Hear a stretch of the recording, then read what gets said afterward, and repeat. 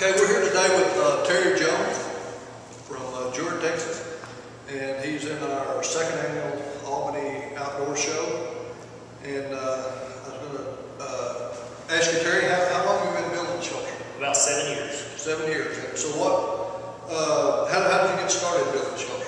I had an antique shop and I was bored one day and the stuff quit selling, so I started making little things out of this and that that wasn't selling. And somebody asked, "Well, can you make this or can you make that?" I said, well, "I don't know." I just started it right from there. So you, you'd say you're a self-taught. I'm a self-taught artist. Okay.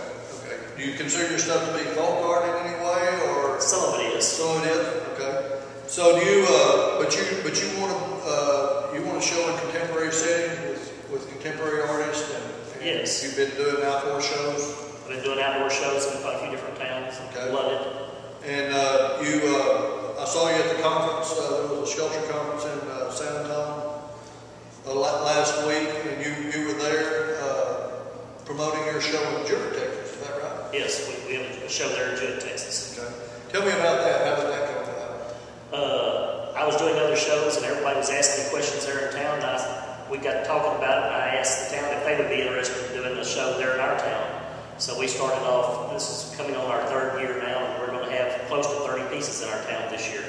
And so you had really good support from We've had support from everybody. People that didn't even like sculpture found something that they liked because of the variety of sculpture we have there and the number of pieces. They found things that they liked that they didn't even know they liked. And so did that, did you find that that uh, piqued your interest in doing more shows, meeting more artists? and- and- It really has uh, helped promote me and uh, got me more interested in doing this and promoting other artists. Good. Uh, This, this year, we're having two artists, we're having Terry and and Jerry Daniels, and hopefully next year, we're gonna expand back to uh, six artists.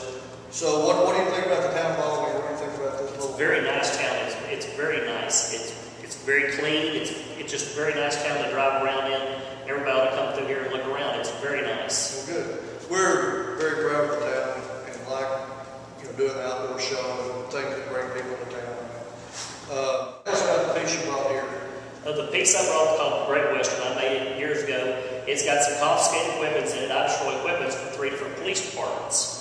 Uh, we take the weapons uh, that they've uh, confiscated drug raids and we uh, make them inoperable and we take something bad and turn it into something good. And by doing so, we help the community in more ways than just one. It brings art out of something that was bad. Did you ever find any of you want to keep? Yes, there's some really, really nice guns that we destroy sometimes. But a lot of the police departments have the uh, feeling that once they take the gun, they that particular No, I- gun pointing I- back I at them, so they just destroy them. But instead of destroying them like a lot of towns and grinding them up and melting them, we actually take it and turn it into art, which where everybody can enjoy that piece. I like that idea a lot. I